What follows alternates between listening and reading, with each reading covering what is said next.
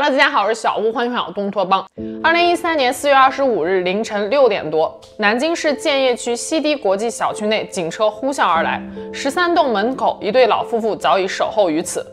他们焦急地将警方带到十八楼，只见房间内到处都是血迹，一名满身酒气、赤裸着双脚的男子瘫坐在地上，怀中抱着一名血肉模糊的女子，深情地望着他，嘴里还念念有词。救护车迅速将女子送到附近的明基医院抢救，但最终仍然不治身亡。今天来跟大家分享的这起案件，充斥着富二代、美女、豪车、九零后娇妻等这些网络热词。也正因如此，当年案件在被刚刚爆出时，就迅速引起了广泛的关注。是什么让一个看似美满的家庭支离破碎呢？今天咱们就来聊聊南京富二代吉星鹏案。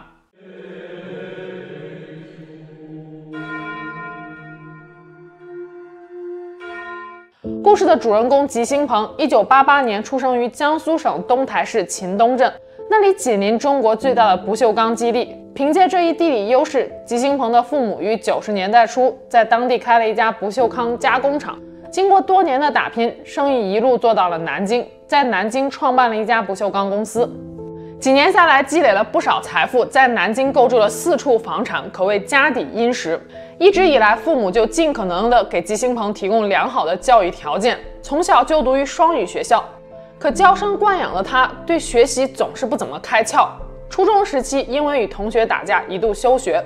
十七岁时，他因为在洗浴中心惹事，打砸物品而被拘留。后来从南京某技术学院大专毕业后，既没有进入自家的公司，也没有找一份正经的工作来养活自己，每天流连于酒吧夜店，只要没钱了就伸手向父母要。二零一一年四月的一天晚上，吉星鹏和三五好友一起去 KTV 喝酒唱歌，大约九点钟左右，他外出接了一个电话，回来时走错了包厢，而且一进包房就夺过话筒要唱歌，眼看话不投机就要动手。此时，一个娇小靓丽的女孩站出来说道：“都是出来玩的，犯不着顶针儿。”这个女孩名叫齐可欣，是当时北京邮电大学世纪学院的一名在校大学生，趁着假期回来南京参加同学聚会。而她就是吉星鹏日后的妻子。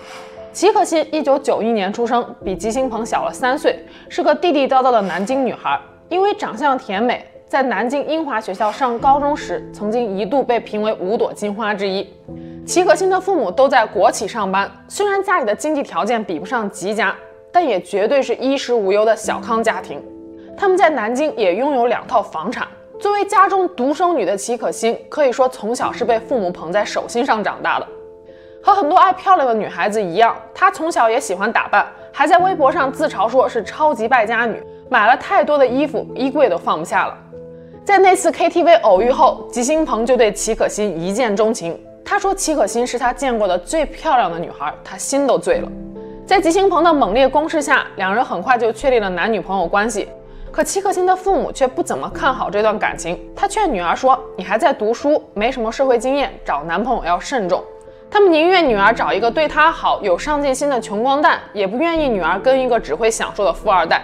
相比之下，吉星鹏的父母却非常喜欢齐可欣。他们刚刚确定恋爱关系没多久，吉星鹏的父母就把齐可欣当做了准儿媳妇看待，甚至视她如亲生女儿。为了赢得齐家父母的支持，吉星鹏改头换面，穿上了工作服去自家的公司上班，还亲自下车间。齐可欣趁热打铁，将吉星鹏带回了家，跟父母见面。期间，吉星鹏待人接物礼貌客气。对齐可欣是言听计从，齐可欣的父母看着女儿这般幸福的模样，也就接受了这段关系。二零一一年七月一日，吉星鹏的父母为二人举办了盛大的订婚宴。可是好景不长，两人还没有正式结婚，吉星鹏的本性便流露了出来。二零一一年十月的一天晚上，吉星鹏无意中发现有人在齐可欣的 QQ 上留言，称其为老婆。气愤的吉星鹏拉住齐可欣，质问对方是谁。齐可欣说：“只是一个普通的网友，对方是在开玩笑。”可是吉星鹏不依不饶，要求齐可欣把对方拉黑，两人爆发了激烈的争吵。吉星鹏摔门而去，齐可欣等了他一个晚上，喝得酩酊大醉回来的吉星鹏看到齐可欣的 QQ 签名写着“夜已深，仍然感到很多力量，我喜欢自己顽强的小宇宙”。吉星鹏妒火中烧，问齐可欣说道：“很多力量哪来的力量？”齐可欣说吉星鹏是不可理喻。此时吉星鹏怒吼一声说道：“你还敢还嘴！”然后一拳打断了齐可欣的鼻梁。酒醒后，吉星鹏受到了父母的严厉训斥，他也不断的向齐可欣道歉，说再也没有下次了。齐可欣哭着说：“我长这么大都没有被父母打过，你下手太狠了。”吉星鹏自知理亏，他狠狠地抽了自己两个耳光，指甲把脸都划破了。齐可欣哭着抱住了他，两个人和好如初。一个多月后，吉星鹏联系了整形医院，带齐可欣去做了他心心念念的双眼皮手术。期间，两人有说有笑。下午，戚可欣就在自己的左肩上纹上了吉星鹏的名字，还把纹身的照片发布到网上。附文说道：“幸福是用来感受的，不是用来比较的；感情是用来维系的，不是用来考验的；爱人是用来疼爱的，不是用来伤害的。”照片下，吉星鹏的表妹留言说：“看来你真的很爱我哥呀。”戚可欣说道：“那是肯定的呀。”然而，家暴只有零次和无数次，两人心中的那根刺早早的就埋下了。吉星鹏有严重的处女情节，多次酒后失言，咒骂齐可欣说她不是处女。齐可欣也发现，两人交往后没多久，吉星鹏就开始在外面风流，有时候忍不住说他，吉星鹏反而怒怼道：“说你是一池清水啊，别给脸不要脸了。”就这样，每次吵架动手之后，吉星鹏都会各种甜言蜜语的向齐可欣道歉，然后再买各种珠宝首饰、包包和名牌衣物来哄她开心。二零一二年三月底，吉星鹏怀疑齐可欣生活不检点。愤怒之下摔碎了一个碗，拿着碎片逼齐可欣割腕，证明自己的清白。温顺的齐可欣竟然真的听从了吉星鹏的无理要求。晚上回到家后，齐可欣的母亲看他神色有异，于是就拉开他的衣袖，发现了手臂上十多道伤痕。此事过后，齐家父母死活都不同意女儿再跟吉星鹏来往，最后还是吉星鹏的父母亲自上门道歉，齐家才原谅了他们。二零一二年五月，齐可欣发现自己怀孕了。吉家人高兴坏了。五月八日，两人便领取了结婚证。还在上大学的齐可欣也办理了退学手续，在西堤国际的家中安心养胎。二零一二年七月二十六日，两人在众多亲朋好友的见证下举办了盛大的婚礼。整个过程浪漫又温馨，让许多参加婚礼的朋友至今难忘。可让齐可欣没有想到的是，短暂的甜蜜过后，她面临的是夺命的深渊。二零一二年八月，吉星鹏偶然发现了齐可欣之前的开房记录，上面赫然写着：二零一二年三月二十八日，齐可欣和某林姓男子共同入住了南京某酒店。吉星鹏看着这开房记录是勃然大怒，然后又想起了几天前陪着妻子去医院产检，医院推测的受孕时间大约就是在三月底四月初。吉星鹏不禁的怀疑妻子肚中的孩子是不是自己的。慎重起见，他委托朋友进一步确认这条开房记录的真伪。经查证，确实属实。开房记录中的南某是一名汽车销售员，与吉星鹏和齐可欣都认识，平时就热衷于泡吧。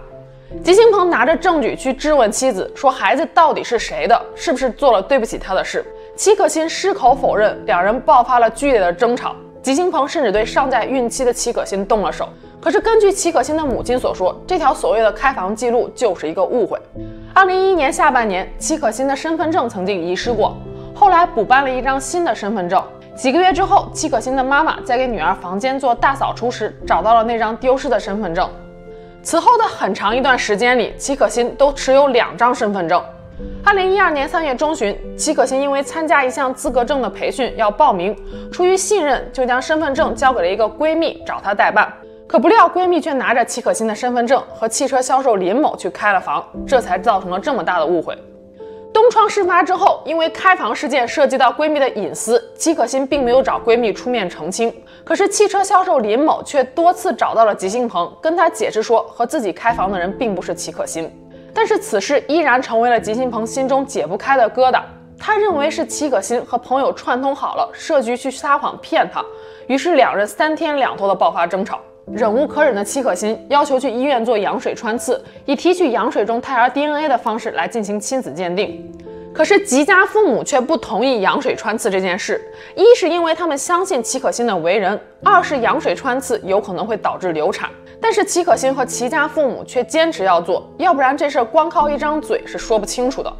最终双方家庭协商后决定做亲子鉴定，可是没想到吉星鹏却在鉴定当天玩起了失踪。羊水穿刺亲子鉴定自然也没有做成。二零一三年元旦过后，戚可欣生下了一个可爱的女儿。初为人母的喜悦让戚可欣全身心的都扑在了女儿身上。吉家父母对戚可欣也是照顾有加。为了缓解和丈夫的关系，戚可欣更加委曲求全，事事都顺着吉星鹏的意思。孩子出生之后，戚可欣曾经再次提出要做 DNA 亲子鉴定，但是吉星鹏却说不用了，孩子就是他的。一月十九日，还在坐月子期间的齐可欣给母亲发信息说想要借两万块钱，说是朋友有急用。在母亲的再三追问下，齐可欣才承认，这所谓的朋友正是丈夫吉星鹏。他在外面欠下了赌债，因为不敢让吉家父母知道，所以才让齐可欣找自己的父母借钱帮他还债。这还没完，接下来发生的一件事让齐可欣对这段婚姻彻底失望了。二零一三年二月，两人的女儿刚刚满月，吉星鹏就发现自己身体不适，去医院检查后发现染上了性病。医生告诉他，这病可能会传染给妻子和孩子。他给齐可欣和女儿也安排了检测。幸运的是，两人并没有感染，但同时也说明吉星鹏这病是从别处染上的，他出轨了。齐可欣与吉星鹏再一次爆发了剧烈的争吵。吉星鹏理直气壮地对妻子说，让他少管闲事儿，还说如果不是他出轨在先，自己也不会对婚姻这么的失望。这一次，齐可欣也不肯退让，她第一次动了离婚的念头。她抱着女儿回到了娘家，跟母亲诉说，吉星鹏每一次喝酒之后都会对她家暴。齐妈妈看着伤痕累累的女儿，很是心疼，表示支持女儿离婚。不久后，齐家父母还卖掉了他们的一处房产，想着等女儿离婚后，可以给她做开美甲店的启动资金。二零一三年四月十九日是吉星鹏和齐可欣女儿的百日宴，双方家庭顾忌颜面，还是都参加了。宴席上，吉家父母向戚可欣和戚可欣的父母道歉。坦言多年以来忙于生意，疏忽了对儿子的教育，让戚可欣受委屈了。还说他们全家真的都很喜欢戚可欣，孙女又这么的可爱，怎么忍心让她这么小就经历父母离异呢？在亲戚的轮番劝说之下，戚可欣忍下了离婚的念头，又回到了吉家。可事实证明，温柔感化不了暴力，只会让你送命。二零一三年四月二十四日，吉星鹏和三五好友外出喝酒小聚。期间，朋友再次提起齐可欣开房记录的事儿，问吉星鹏说：“你老婆到底出轨没有？孩子是不是你亲生的？”还说齐可欣婚前就特别爱玩，甚至还做过坐台小姐。这话无疑让自尊心极强的吉星鹏非常的难堪。他心想，朋友们当面就敢这样调侃他，背地里还指不定怎么说呢。凌晨五点多，吉星鹏回到家中，早就已经喝得意识混沌的他，揪起齐可欣就问：“你是不是出轨了？孩子是不是别人的？”面对喝醉的吉星鹏，齐可欣毫无招架之力，只能不断的哀求他，让他不要再闹了。可是吉星鹏上来就给了齐可欣两个耳光，争吵声惊动了住在复式楼二楼的吉星鹏的父母，他们赶忙下楼来，可只见到儿子拿着一把菜刀就冲进了卧室，并且反锁了房门。接下来就听到了齐可欣凄厉的惨叫声和呼救声，吉家父母合力撞开了卧室门，可是此时已经为时已晚，齐可欣早已奄奄一息。此时，楼上他们刚满百天的年幼的女儿还在酣睡中，身中五十多刀的戚可欣最终还是未能摆脱死亡的追逐。吉星鹏得知母亲已经报警之后，终于回过神来，他知道时间已经不多了，抱起被自己砍得遍体鳞伤的妻子，喃喃自语。案发后，南京市建邺区公安分局的办案民警给齐可欣的女儿和吉星鹏做了亲子鉴定，鉴定结果显示，女儿系吉星鹏亲生。得知这一消息的吉星鹏失声痛哭。齐家父母每每谈到女儿的过世，眼泪总是止不住的往外流。他们说，在太平间看到女儿时，女儿眼睛还是睁着的，她死不瞑目。不仅如此，他们还要面对网络上针对齐可欣的各种不实留言，有的说是齐可欣出轨在先，有的说是她给吉星鹏戴了绿帽子，还有的说齐可欣生前就是坐台小姐，贪慕虚荣才嫁给吉星鹏的。可悲的是，案件刚刚被爆出时，很多网友关心的不是齐家父母锥心刺骨的丧女之痛，而是吉星鹏究竟是不是富二代，他们家有多少钱，他开的是什么车，他是不是南京某超跑俱乐部的成员。戚可欣的朋友实在是看不过去了，在网上驳斥说道：“齐家也不缺钱，也不穷，戚可欣跟吉星鹏在一起，完全是因为一开始吉星鹏对她很好，什么都听他的，让她觉得找到了好男人。”戚可欣的母亲在整理女儿遗物时，发现了她生前留下的日记，里面事无巨细地记录下来了每天的行程，为的就是减少不必要的矛盾。在丈夫自私的猜忌中，戚可欣的日记里写的全都是她满含血泪的试图挽回家庭的努力。可是这一切都是徒劳。日记中有一段写着：“越来越没有意思了，全部都是谎言。习惯了欺骗，何苦又要在意？早知道他是这样的人，何必跟自己过不去呢？别傻了，你的付出是永远得不到回报的。在生命的最后，齐可欣对这段感情也是彻底心凉了。记者曾经采访过齐可欣的一位高中同学，同学说齐家的家庭条件也不差，齐可欣是不可能出去坐台的。既然就是学美术的，基本上家庭情况就也不会差到哪边去。如果家庭情况就是很是一般的话，也不至于在外面学。面对警方的审讯，吉星鹏一开始居然说是妻子因为自己回家太晚，又喝了酒，两人才爆发了争吵。这个时候，妻子突然冲进厨房，拿了一把水果刀，像发了疯一样挥向他，但是挥空了。吉星鹏是出于自卫，才夺过了水果刀，刺向了妻子，而且只刺了三刀。然而，尸检报告让吉星鹏的谎言不攻自破，戚可欣的身上足足有五十五处刀伤，致命伤是从背部刺入的那一刀。而且从刀口的大小判断，吉星鹏至少换了三把刀，可谓是丧心病狂。二零一四年四月十八日，南京市中级人民法院一审判处吉星鹏死刑，缓期两年执行，剥夺政治权利终身，同时对其限制减刑。齐可欣过世之后，齐家父母很长一段时间都走不出伤痛，尤其是齐妈妈，因为思女成疾，精神恍惚，上街时都会走神迷路。最后，齐爸爸没有办法，只能辞职在家照顾妻子。两人为了尽快走出阴霾，甚至卖掉了满是女儿回忆的房子，搬了家。齐可欣留下的小女儿目前由吉家和齐家共同抚养。眼看着孩子一天天长大，将来孩子如果问起爸爸妈妈在哪时，真不知道两家的老人该如何回答。可更让人瞠目结舌的是，法律给了吉星鹏一线生机，他却丝毫都不珍惜。